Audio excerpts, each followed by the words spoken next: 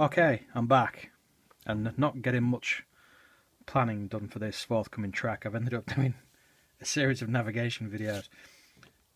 So I'm gonna show you quickly how to take a bearing from a map.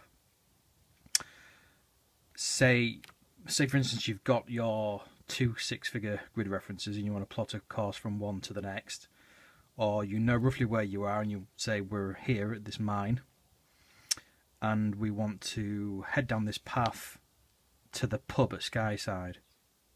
I think heading towards a pub is always a good idea, especially after you've been on a long trek and a, an overnight wild camp. So I've marked it here in uh, highlighter for you. So I know I'm here because that's, say, for instance, where I've just wild camped and I want to get to here. Or this is my six figure grid reference and that's my six figure grid reference and I want to head that way. So there's actually two ways of doing this. The first way and the easiest way is to take your compass, as like so, line up where you are and where you want to be going to along your compass. Keep your compass in place, then rotate your bezel so that your orientation lines on the inside match up with your northing lines. So if you see there in this corner, they're pretty spot on, lined up. So now this is now my bearing. If you look inside there, this is now my bearing, which max, matches up with my direction of travel line. Okay, so I've got a bearing of 30, 330 degrees. So all I'd now do, without moving this bezel, is rotate myself and the compass so that the north line needle is inside the orientation line and then walk in the direction of travel.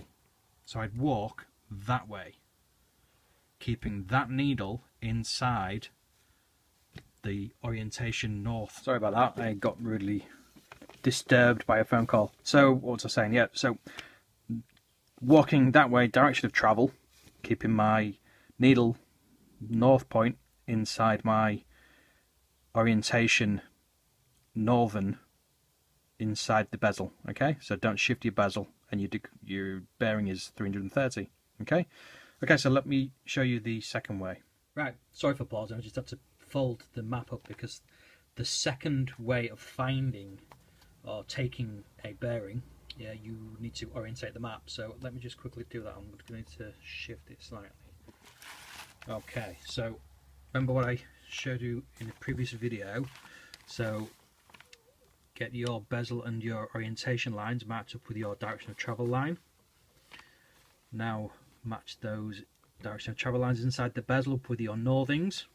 Okay, and then shift the map and the compass together until your needle, you see it, needle is inside your northern orientation, northern line.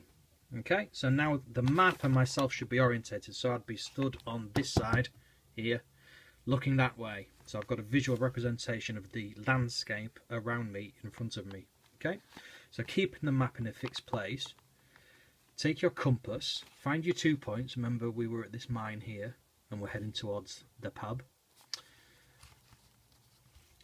Line your two points of where you need to be. The pub, no, because we're going in that direction. And then this time, move your bezel so that the north lines up again. You see inside there? So you should then get the exact same bearing, 330 degrees. Easy. Depends on which way you want to do it, but they both get the same results. And that's how you take a bearing, guys. Nice and straightforward.